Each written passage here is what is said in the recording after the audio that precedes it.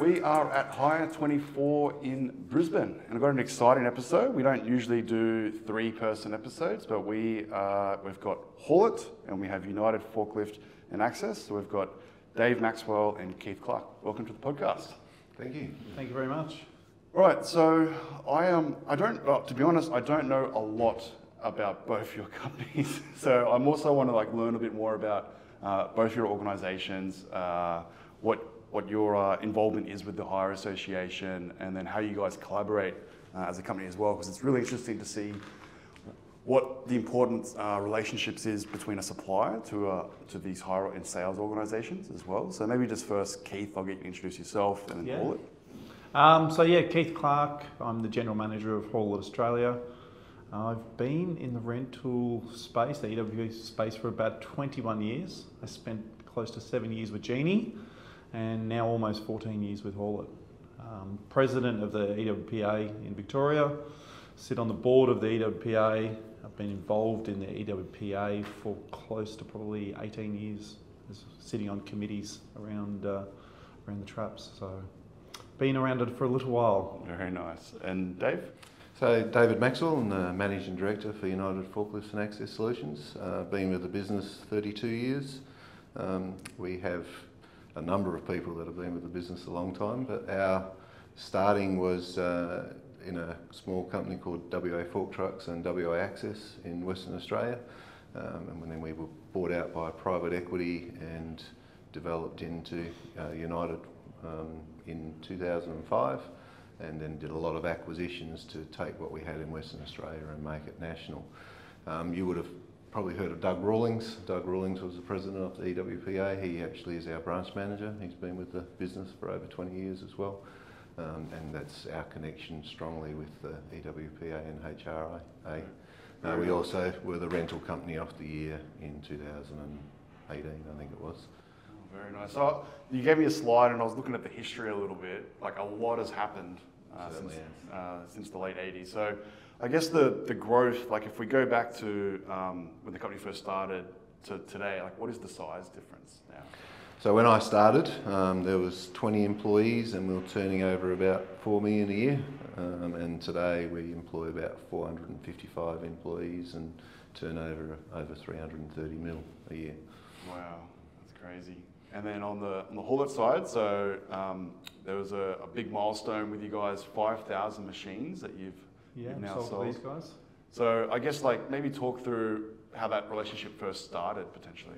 Yeah, I think it was uh, it was just the year before I started. So I started in 2010, and in uh, 2009, I think we sold three machines. I think it was a couple of boom lifts and one rough terrain scissor. And uh, the journey started there, and I joined about six or eight months after that. And I remember coming over the, the first time and sitting with yourself and, and Andrew McDonald and Trent, um, who are three of the key figures still in the business today, and talked about how we could try and partner up together. And you guys were looking for someone to partner with, and we were looking for someone to partner with to do our retail sales. Um, and it was the, the GFC, you know, the global financial crisis was, was, was real. The global business had uh, a 70% downturn in one year. So, you know, our business here in Australia was really also quite a quite a struggle. And um, yeah, we, we partnered with United, and it's been nothing but a a joyous relationship ever since. And I think you know the the reason it's been so successful, I think, is we give each other probably very clear and transparent feedback. You know, and you know, the, and the team have really helped us improve our quality and our design and so forth by really coming to us with good detail about you know some issues or problems that they've found. And you know we've put that feedback straight back to the factories and they've actually come back with a solution. So we would present that to our factories and then we'd meet six months or a year later with a solution on this is the problem you found and here's the solution we're, we're putting in place to, to make you know rectify it. Mm. And you guys did a milestone as well, 25 years? 25 years, yeah. So uh, yesterday we actually had our uh, CEO, Alexander, uh, is, is in the country and he flew direct from Paris to Melbourne uh, for lunch and then flew from, uh, from Melbourne up here to Brisbane to, uh, to be the show. But yeah, 25 years here in Australia is a, definitely a big milestone. Yeah. And so 5,000 machines is obviously an amazing partnership. So, so why 5,000 machines? Like, why, why Haulotte? Uh, why Haulotte? Well, our history, um, so we've had a history with, we started initially with WA Access, we were with Snorkel, um, and then we moved to JLG. Um, but Haulotte, uh, we actually found um, they were very uh, happy to work with us and continuing to uh, develop their product and be innovative in their product. As Keith said, they had their people come down from France and sit with our actual sales, BDMs and so on to understand what the customer needs were and develop that. Um, the relationship started off slow, um, so we actually signed the national dealership uh, reseller agreement in 2012. And you know, we took a while to get going, finding the right people and so on. But uh, we now have a fantastic team um, that do very, very well in selling the product nationally. So we've got a person in WA, one in Sydney, one in Melbourne, and one in Brisbane um, that just focus on selling the whole product. Yeah, so I think you said you've got about two and a half thousand machines in your rental fleet from Haul but then you're also selling the machines. So talk about the dynamic between like renting the machines out and then selling the machines direct. I think it's one of the unique models that we have as a company. Uh, number one, in that we're sales, service, and rental. So we do also retail service as well as the sales and the, and the rental. Um, and we do forklifts and access. So it's also a different dynamic as well because both are quite different. Uh, but it gives us a spread of um, being a one-stop shop for our customers because we do from the small electric forklifts right up to the big container handlers and reach stackers, um, but we also do the, the, full access range and telehandler range. Um, and the suppliers that we have and that we work with have been really instrumental to who we are. Um, one of our slogans is we like to have quality product with quality people, um, and that's definitely what we've achieved. So the rental side, we actually do um, differently in the fork truck space versus the access. The fork trucks, is, a lot of it is more long-term rental. Um, so we have our salespeople usually do do the long-term rental uh, as well as selling. On the access space, our salespeople are different from our rental people because the access is day-to-day casual rental, and so we have a dedicated team of access rental BDMs that are out there doing the rental, mm. uh, and dedicated salespeople doing the selling. And so, is there much training from Haulotte in supporting that sales? Because it's obviously a very different way of, of engaging with a customer, renting versus sales, and then yeah. obviously you're selling direct to these these rental businesses, but then now they're selling direct to the public. Like, how does that dynamic work? Yeah, so we actually we like actually locally built tra- um, training to do both ways. So for capital sales, we we do a lot of training. We did some only two weeks ago, two or three weeks ago, with the United team. We brought their sales team into Melbourne, um, spent two days doing really detailed feature, function, benefit. You know, looking at what the competition has, how we can place ourselves with you know added value and innovation. Um, and then we also then designed rental training because not only for United but for all rental companies, it's all well and good me saying that you know my machine's the greatest 90 foot scissor or 45 foot knuckle boom in the market. But if I'm a rental company and I've got 10 brands and you go out and say, hey, the Haulotte's the best one, and then tomorrow the JLG or G or whatever turns up on site. So the training we do for rental is more about how to add value to their customer on site. Mm. Yeah, and then obviously 5,000 machines, and your fleet is obviously much bigger than that overall. There's a lot of maintenance that goes along with that. So you've got dedicated service teams. So how does the service uh, collaboration work between uh, Haulotte and United?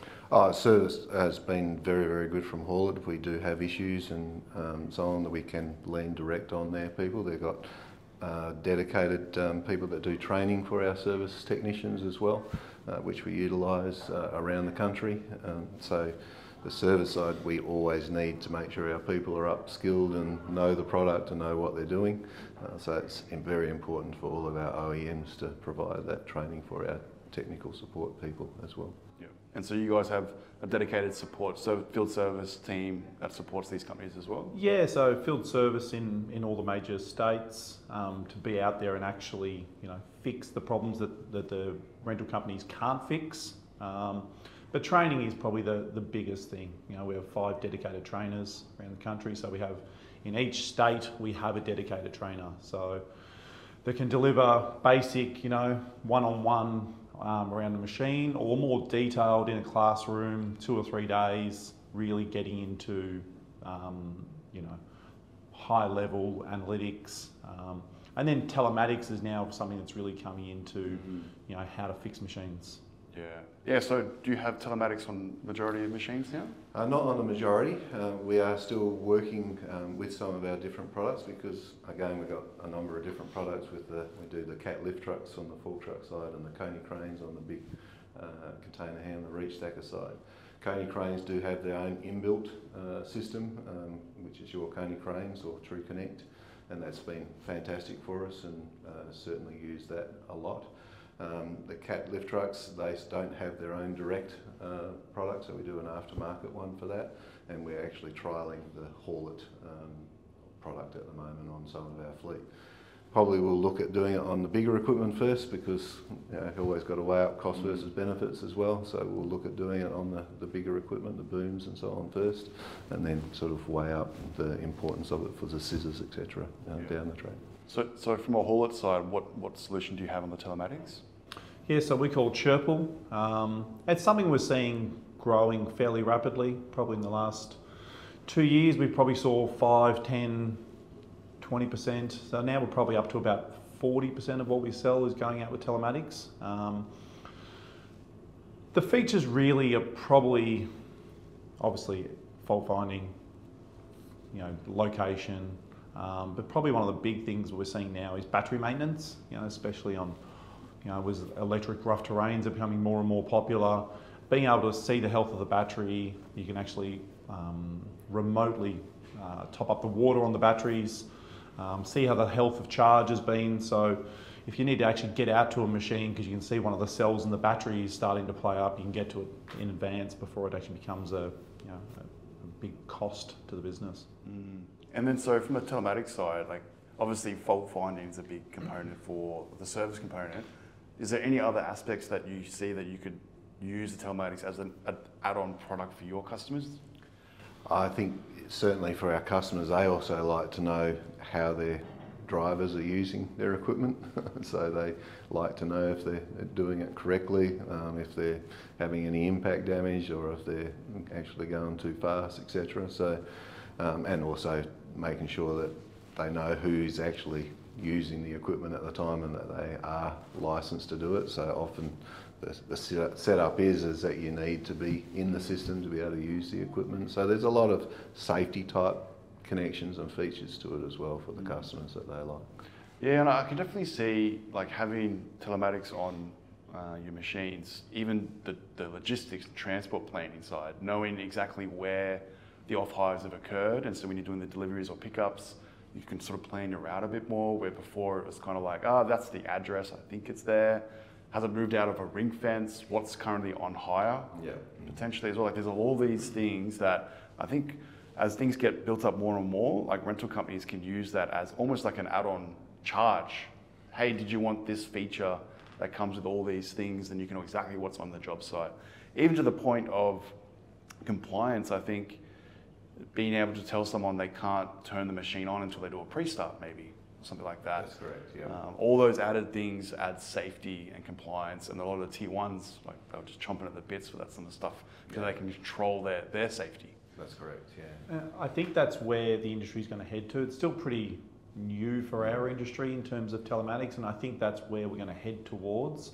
Is some of that, as you say, pre-starts, but even utilizations. You think about on a big infrastructure project that's many, many, many kilometres long. Is there a scissor lift or a boom lift sitting over in the corner there that's just not being used? Mm. You know, and if you could turn up to site and say to the project manager, probably not good from a revenue standpoint, Dave, but you know, hey, you've got 100 machines on hire.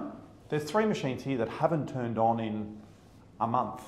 Let's off hire them for you because clearly you don't need them and it's going to save you some money. And being able to go to your customer, you know, with some really good data and actually, you know, hey, I'm here to help you. Next time they come around to do a project, you're the first one they're going to be ringing to say, hey, this guy actually wants to work and partner with me. And I think that's some of the stuff. And even as you say, the safety standpoint, what we can see in, in telematics too is the height that they're going to be using, which then hopefully in the future could drive purchasing decisions because am I buying an 80 foot boom because that's what I've always bought, but the customer's only going to 12 metres or 14 metres, you know? One day in the future, do we check what loads they're putting in? You know, uh, we need a high capacity, 500 kilo or 300 kilo or whatever capacity, but they're only putting 200 kilos in it, and we put we're paying extra for a machine that we might not need to be doing. Mm, yeah. And the last part we'll have on our stand here is a new product called Fasten, which is a harness detection system, uh, which will be able to see then linked through telematics also, is the person wearing a harness every time they actually hook into the machine. Yeah, definitely. And so, 400 staff, you said that you guys have? 455. 450. Yeah, so, I can't even imagine what goes into like making sure that everyone's safe at work. So, what are some of the things that you, you put in place to make sure that uh, it's a safe place uh, within United? So we've been fortunate. We're part of a, a larger group as well, the Elphinstone Group. Um, so Dale Elphinstone is the actual ultimate owner of our business, um, and he, I don't know if you've heard of William Adams uh, in Melbourne and Tasmania. So we, one of Dale's favourite sayings is still shamelessly, which we did from their business. So a lot of the safety features and so on that they had throughout their business, uh, we stole shamelessly to implement in ours. Uh, including one of the things that we do have is uh, we have four life-saving rules um, that are clearly displayed everywhere for the people, just to remind them, you know, don't put yourself in the line of fire is one of the rules. Um, how we actually use tools and plant and equipment and the actual uh, vehicles, etc. as well. Um, and also fitness for work, making sure you come to work fit because we want you to go home the same way you come to work. So it's always continually promoted uh, through our business.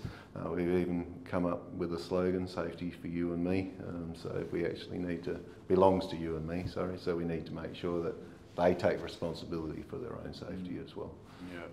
And then, so on the, the fleet side, obviously, uh, the types of machines that are getting uh, supplied are evolving. Uh, electric is obviously becoming a big thing. Like, what are some of the trends that Haulotte's seeing uh, with the, the evolution of the types of machines? Yeah, it's funny. Whenever everyone always talks, you know, green, um, EWP, you know, the EWP industry has always been very green. You know, 65, 70% of all machines sold ever are electric, electric scissors. Um, the electric rough terrain is, is definitely coming. Um, the one thing that we've got to remember in access equipment as opposed to every other type of plant is when an EWP goes up in the air, it's not consuming any energy.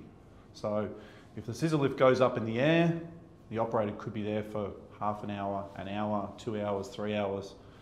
The engine's not running, it's not burning any energy. It's not like a forklift or an excavator that it's running hours and hours and hours. And we quite often, we can see a machine at 10 years old, sometimes with three, 400 hours on it in, in 10 years. You know, it's, it's next to nothing. However, electric is definitely, you know, the, the way it's, it's heading towards. Um, we are trialling hydrogen as, a, as an alternative fuel source. You know, like Europe's definitely looking down that path. Um, the UK is pretty heavily in at the moment. Um, we're actually trialling a, a, machine in Paris at the moment with a hydrogen fuel cell powering the or recharging the batteries, mm. which I think is an interesting, you know, take on, on how to get um, you know, alternative fuel sources to just electric. Yeah. And so, from the, your customer perspective, what are you you seeing at the moment? Are they wanting more green related machines? Absolutely, a number of our customers are, and we've uh, worked extensively uh, with a number of our customers to understand what their requirements are. Um, Haulotte have been great to work with us in some of those aspects, and we've been able to present uh, concepts and ideas so that they can have input of what sort of things uh, may be developed. I think it's still got a long way to go in the industry. Um, certainly, uh, even on the forklift side, there's a lot of development and so on, on in the electric space. Where the challenge still is, is obviously with the access equipment going on to sites, often their construction sites don't have any power to actually recharge the equipment, and that's why the hydrogen generators and so on are another element that will, I think, help with that. But still got a bit of a journey to go, but working with our customers, understanding their requirements is equally important as working with our suppliers to then feed that to say, this is what they're asking for, how can you assist with that? Yeah, I think once the infrastructure gets built up more and more and more, it gets a bit easier. But you kind of need those tier ones to take that leap and push the boundaries a little bit. Until that happens, But then like Dave mentioned there, the challenge always is it's a construction site Mm. and there's no power. Mm. You know, and that and that's what really makes, especially for EWPs, because you're there at the start. You know, you're er- erecting the steel when there is nothing else on the job site. Mm. Power doesn't come for many many months. So, and that is the real challenge. And you know, we've put range extenders on on lots of our um, machines, our electric rough terrain machines. That it is a diesel engine to recharge the batteries for when there is no power, but still a diesel engine. You know, um, on all of our boom lifts for five-ish years, we've had start-stop technology, same as what you have in your car, and you come to the traffic lights and your engine turns off. We've had that now in our booms for about yeah five or six years now. So the guy drives into position, he goes and starts doing his work, the engine shuts off. When he wants to move, and he might you know drive forward a metre or come down or up or down, engine restarts. So while it's sitting dormant, again as I say, it's not burning any energy. And look, we're also looking at the way to bring the bigger machines down to much smaller engines by changing the drive systems in them. So changing to a more efficient drive system so we can bring the kilowatt engine down significantly so you're not burning anywhere near the diesel. You know, you used to have a 36 kilowatt engine to run a big machine. Some of these machines now we're running a 17 kilowatt engine, which is, you know, quite a small, which would normally run on, say, a 45 foot knuckle boom. Yeah. And then I guess like when these new types of machines get evolved and United's talking to their customers about it, like how do you engage with, with businesses to, to make sure that what you're building is, is going to suit the end customer? Probably one of the, the you know, if I go back to the GFC, it was probably a, a really good thing for Haulotte. As bad as business going down by 70% globally was, it made us stop being a European centric business. You know, and we were so focused on Europe and building machines for Europe. And Alexandre did a, an amazing thing coming out of coming out of COVID and, and invested heavily in R and D. And you know, for a business that had just hemorrhaged money, and he decided we need to change and we can't be a European only business.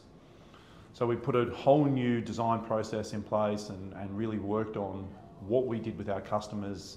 And you know, every year we'll have product managers out in Australia and all around the world, and they will sit and they'll say, "Hey, we want to build a new 80-foot knuckle boom, let's say," and we'll get the feedback. What do you need? What do you want? What's good in the machines you have now? What's bad in the machines you have now?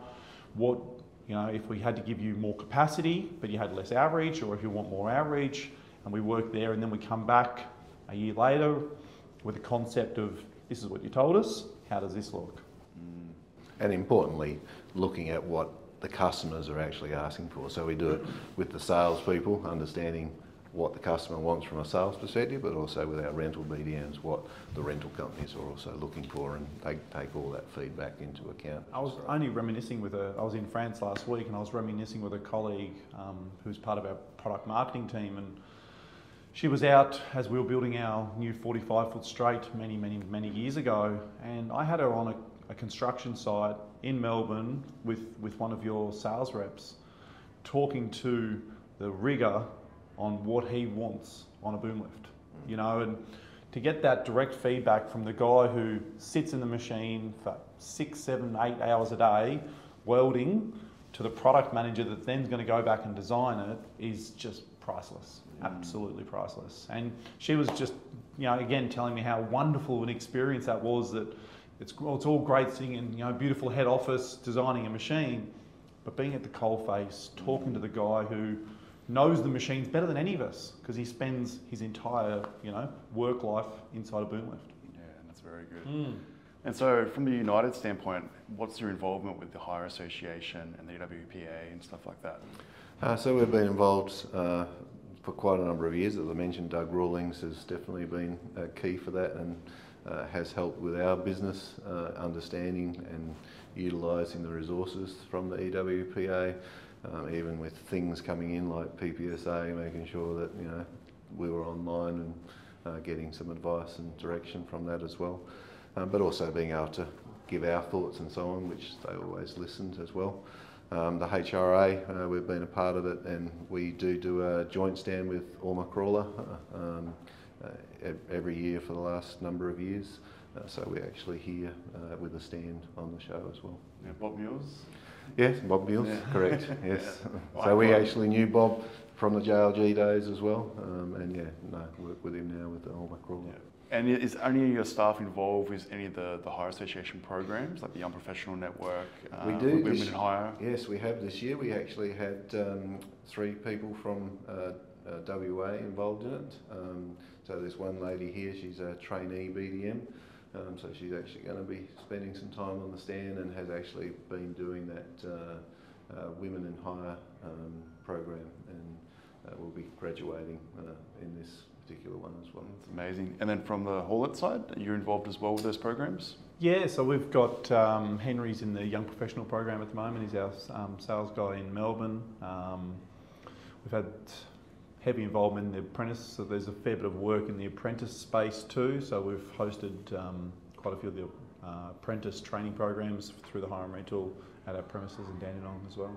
Yeah, because I think strategic alignment training, they've got that whole uh, uh, course that you can go through and get involved and whatnot. I think they do some really good stuff just to try and get women involved, get them mentors, and they've got young professional and then the training aspect. I think uh, the associ- association's done a very good job of like bringing people together. It, it's you know again I, I joined this industry when I was around I think 25 years old and you know and I, and I remember my first day I sort of got handed the car keys and you know go off and sell some machines I was like okay great you know that, that was my induction into the industry and you know I kind of found my own way to the to the association and and you know Tim Nuttall who's uh, been a you know great advocate for the association sort of took me under his wing in the association and you know, I started going to meetings and then got on the, the committee. And, you know, I think it's like anything. The more you put in, the more you get back. And, you know, I've really tried to put into the association because it's, I feel it's given me a lot over the years and I've learned so much. And, you know, I remember sitting back at, at these meetings and, you know, I felt like a young fella at the time. And now I'm probably on the other end of that spectrum. But I remember sitting back and looking at guys like Tim Nuttall just going, wow, you know, you've got such a wealth of knowledge that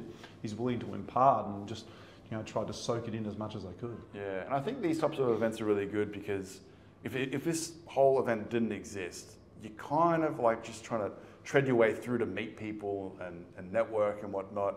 And then the Hire Association in general is like a great place because people are so relaxed. They're happy to talk to the competition, they're happy to share knowledge and whatnot. And so anyone that's young, like I think uh, Bob Mules was saying uh, yesterday or the day before, it was just like, it was impossible. Like when I first started, it was like you didn't know where to go, what to do. Where now you just you turn up, you go to one of these events, and someone's going to introduce introduce you to that person and that person, and you'll see that face. You become that. Like they, they know you next time. So it's a great place for like young people to get involved. Yeah, Hundred percent. Yeah, it's definitely evolved from uh, from where it was many many years ago. Yeah. So a separate topic, which I, I, I'm interested to get your perspective on. Um, so Greg Parfitt was uh, on the stand yesterday at uh, the, the Welcome at the Young, Young Professional Network, and he was he was talking about Orange Hire getting acquired uh, recently, which was uh, United United Mm. Rentals. so it's now public knowledge, so I can say it. Um, but that's, that's a big thing. That's uh, like obviously they, they purchased Royal Wolf uh, A few years ago, few years yeah. ago, and it was just a shipping container. But Orange Hire is a bit, bit of a different company that they're buying. Uh, now you've obviously got the name United, which, prob- which probably annoys annoys them quite a bit. Uh, sure. wh- What's your thoughts? What's your thoughts? Maybe I'll start with, with you, Dave. What's your thoughts so far on the acquisition? Because they're not going to come in soft, that's for sure. Sure. Um, yeah, it'll be an interesting sort of dynamic as it progresses. Um, I think we have developed uh, the name substantially over the years. Uh, we became United, as I said, in 2005. So, um, and we've had United Rentals on our rental equipment um, pretty much uh, for a long, long time. And so for us, it will be an interesting dynamic in terms of how that plays out. Um, but at the end of the day, um, it's about relationships. Uh, we're in the people business. We have strong relationships with a lot of our customers um, and with all of our suppliers. And so we hope that we can just continue to provide the service that we do and um, customers will respect who we are. Yeah. Um, as you say, the spaces that they're currently investing in aren't affecting us uh, in containers and, and roadwork sort of things. So at this stage, not a concern, but Mm. certainly if uh, they start going into the access and forklift space, uh, it will be an interesting dynamic that only time will tell. Yeah, it was funny. I was talking to this company in Brisbane uh, this a while ago, and we're just chatting about something, and then he was like, "Oh, United Rentals," and I was like, "They're not a company." He, but then he was talking about your company, Yeah. as United Rentals. I was like, "Yeah, it's going to be an interesting dynamic to see how this whole thing plays out because you've got such a, a history in the in the in the, in, the, um, in Australia, so it'll be." And, and it is already causing some confusion, even sometimes uh, payments coming through on uh, statements. We get a call and say, why have you taken money out of our account? And we said, sorry, that isn't us. It's uh, actually United Rentals Australia. So, so, yeah, so it has already started causing some confusion, but um, yeah, it'll be interesting how it all unfolds. uh, what's your thoughts? Yeah, it's definitely interesting. You know, biggest rental company in the world. Um, when they bought Royal Wolf a few years ago, I thought, wow, that's a really odd acquisition. You know, to go and buy this, you know, container rental business on the other side of the world. Um, and it, at the time, it made me think this is the put the toe in the water and then you know start to look for other other opportunities. Um, you know, Orange Hire is a fantastic business, probably a great size to buy too to put your toe in the water. I think when I listened to Greg, it was a six or seven branches. Mm. You know, so probably a good size number of employees and branches to really, again, get in and cement your feet.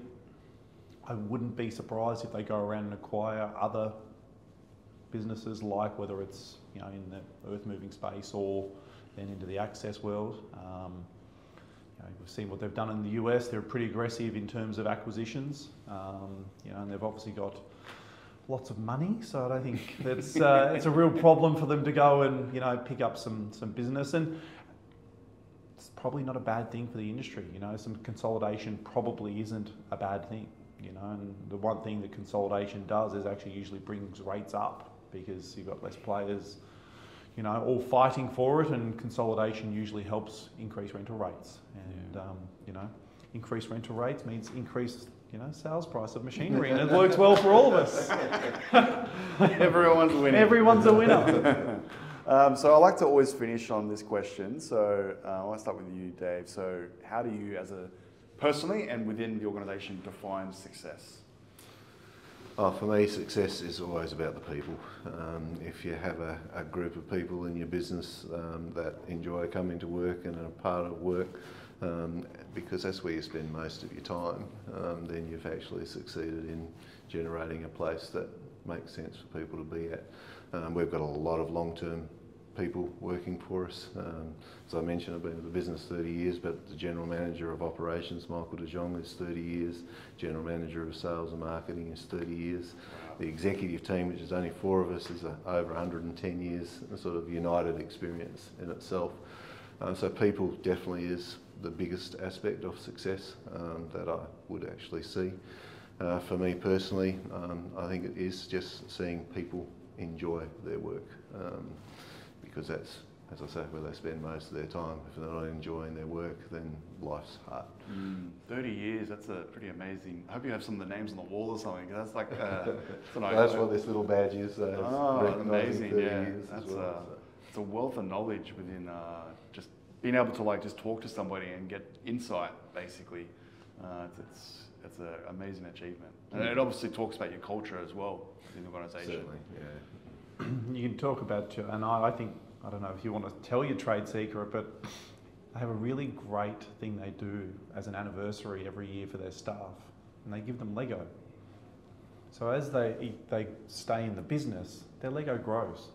Oh, wow. So you walk around their office and you see different sets of Lego on each person's desk, and it's it's a really cool thing to walk around and see. And you can, again, you walk into Dave's office and there's a lot of Lego, but you know, and when you walk and they have such an amazing culture of people that are not just 30 years is unbelievable. There's so many 10, 15 plus year people. And yeah, you walk into these offices and just this great little, and everyone builds it into, into a different structure. Um, and it's such a great simple thing, and, I, and I, I, every time I, I see it, I say to myself, I need to steal that idea. Absolutely. Um, yeah, it was a, we actually stole it from someone else. The CFO actually saw it in one of his mates' businesses, and so it's just a little little platform with the person's name and start date on it. So the first year that they get this, and then get a little Lego person as well with years of anniversary, and then each year they just get another Lego block with the year number on it to build it. Oh, very however they nice. want So your one's gone to the roof, basically. well, that- some, someone, when we first introduced it, there was a person that was going around, particularly at head office, and obviously had a Lego set at home. And so they were bringing in different hats and hairstyles and so on and putting on people's different things. So it was quite a lot of fun. Um, So I've got a captainship uh, hat on mine, so I've built mine a bit like a ship that I'm sort of sitting at the. uh, that's a very good idea.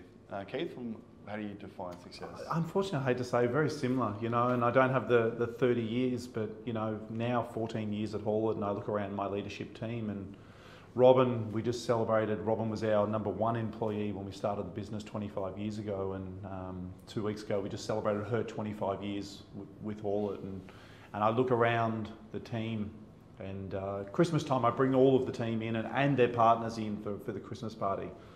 And every year I get that choked up feeling when I go to do the, the Christmas speech of just a sense of, of, of like a proud dad, you know. And I look around the room and my management team have, have all been with me, most of them over 10 years now, and you know, some seven, eight years.